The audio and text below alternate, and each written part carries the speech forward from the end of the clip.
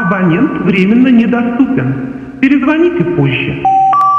The subscriber is not available now. Please.